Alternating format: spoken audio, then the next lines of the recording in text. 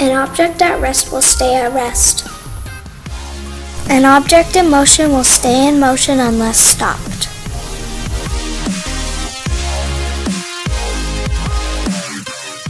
Speed occurs when a force acts on an object.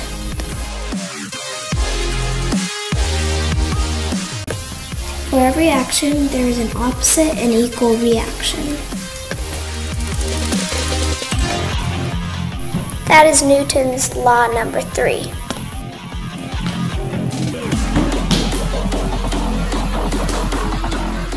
By pushing off of the ground, it propels me forward.